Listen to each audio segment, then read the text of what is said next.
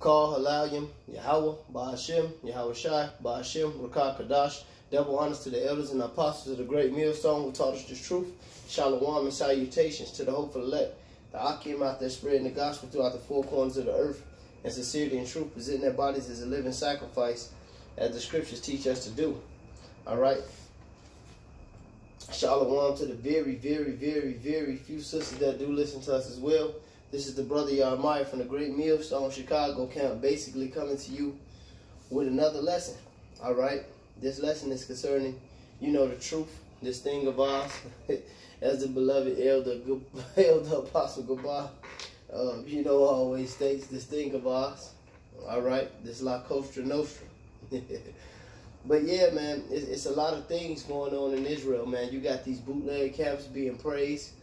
All right, you got uh you know, and, and, and what that's going to cause is a, a, gathering of the selection, as as I call it, those those two thirds that are of the elect that's going to hear Israel, and basically the Lord ushering them in just to push them out. All right, and then other men of the fold, man, you got well, who are ultimately two thirds too. You got men that's in this fold, man, that's just walking out, man. They're walking out as if if Yahweh Bashem, Yahweh isn't real, if his judgments isn't real, if they never seen the miracles of the Lord, they never seen brothers get plagued by demons and destroyed. They never seen judgments. They never felt the spirit and power of Yahweh Shimmy Shah. They act like like like like like just nothing's gonna happen. They just walk out of this truth, man, off in the la la land, man. You know. You got brothers just walking away, man. Dropping the plow, man. Like ain't shit gonna happen, man. But nevertheless, you know, you you, you gotta marvel not because this is Yahweh Shem Yahweh Shah doing exactly what he doing. And you know, we gotta we gotta keep our shit wide tight, as the Apostle Rakah say, man. You know, this is um Zephaniah 1 and 12. It says, And it shall come to pass at that time that I will search Jerusalem with candles and punish them that are settled on their leads that say in their heart, Yahweh will not do good, neither will he do evil. All right? And, and, and that's what Jake think, man. Lukewarm Jake, Jake who just walk off. And that's the Lord, though. Their spirit is being searched by the spirit and power of Yahweh Shimmy Shot, man. And it tells you that, how, how, how the spirit is like that in the book of Proverbs, man. It's like a light. It searches the man's soul. Or it was that song, the law is a lamp in the light. All right? But, but it searches you out, man. Okay? And the Lord is looking, man. The scriptures say the eyes of the Lord are upon the sinful kingdom. The scriptures say the eyes of the Lord are 10,000 times brighter than men seeing everything. The Lord is seeing everything, man. Hey, the Lord know who's predestined for these um, judgments. He's know who's predestined for this salvation, man. All right? A man is going to be saved according to his faith and his works, man. According to the book of Second Ezra, the ninth chapter, according to the book of James. That's why you got a lot of guys that's falling out, man, because they ultimately they are, are the elect, but they're not doing the work, man. They don't want to do the work. The commandments of the Lord ha has been grievous to them. So the belt's getting tighter, all right, as we see the prophecies coming to pass. All right, the Lord is trimming more and more fat as we see the prophecies come to pass. All right, and that's why we got to be on our P's and Q's, man. Y's and Z's. This is uh, Hebrews, the 10th chapter, in the 26th verse. It says, For if we willfully sin that we have received the knowledge of the truth, there we there remain no more sacrifices for sins. And that's that's where it go, man. You you if you willfully sin, man, you drop the plow, you just stop teaching, you just completely go off. You know, me and a group of brothers was just actually talking about this, man. You know, if you willfully sin after that we have received the knowledge of the truth, there remain no more sacrifice for sins. The Lord ain't making no fucking atonement for you, man.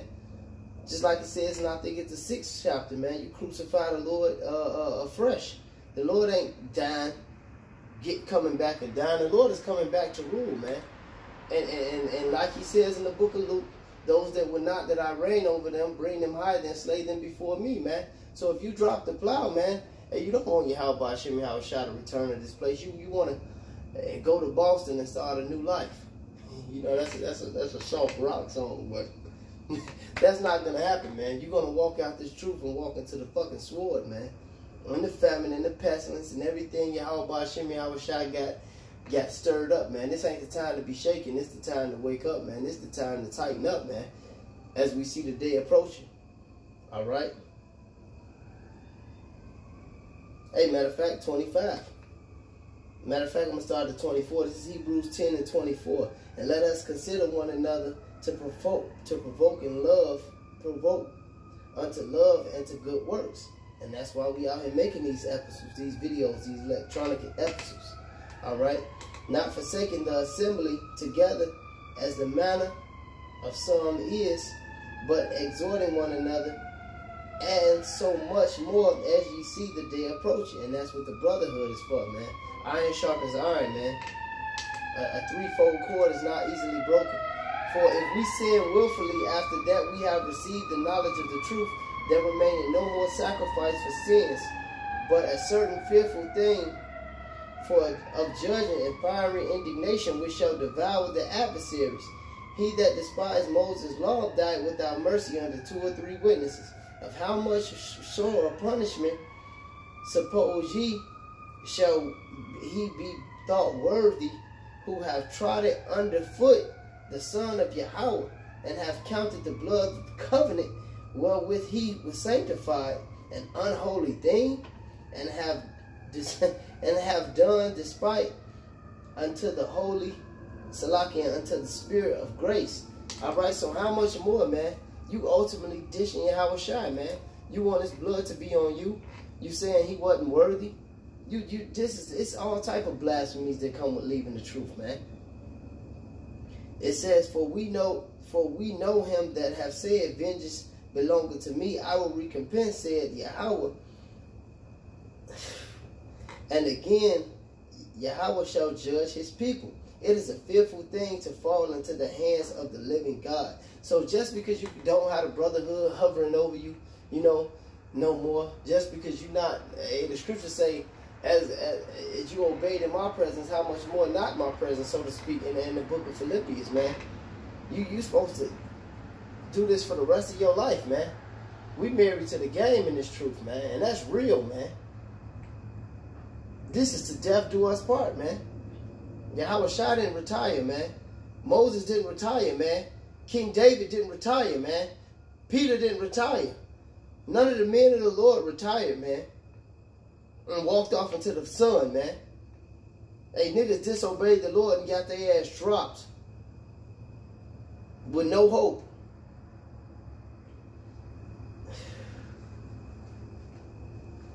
That's crazy, man. But uh, in spirit and power, Yahweh Shem Yahweh man, we know that Yahweh Shem Yahweh you know, like I said earlier, is trimming the fat. Jake, you know, they, they, they let life get to him, and these bugged out holes or whatever the hell it is, they extracurricular shit that they be doing when they could have been with the brotherhood, building each other up. They let the kids of this world weigh them down, man.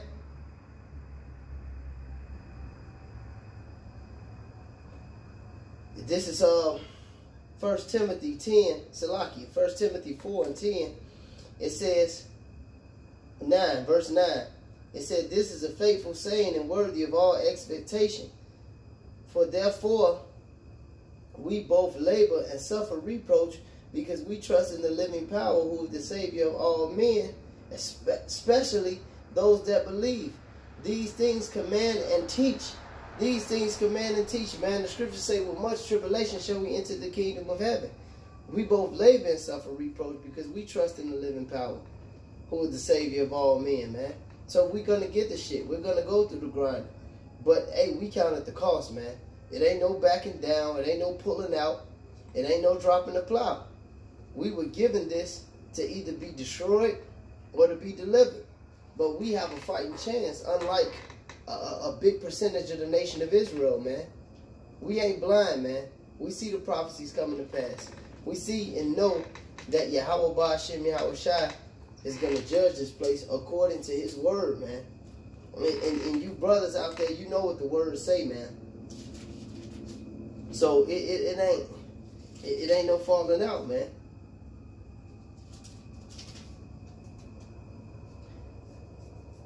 This is um Proverbs 11 and 31. It said, Behold, the righteous shall be recompensed, meaning paid back. Behold, the righteous shall be recompensed in the earth, much more the wicked and the sinner. All right, so if the righteous going to be paid back, how do you think that the Lord, and, and we getting our shit now, man, because the righteous is going to be delivered. That's not a contradiction. We being recompensed. That's why Micah said what? I, I think that was Micah, yeah. I will bear my indignation. Okay, so we dealing with our shit, all right, and this little shit, man, that's not even comparable to what we to get, all right, if we endure to the end according to his promises, man. So, and it is impossible for him to lie. So, it, it, it don't out, it, man, it don't even equate to falling out the truth, man. You niggas are crazy, man. Walking off into the fucking sun, man. Got a couple more, man. I might not even have a couple more, man. I'm so fucking...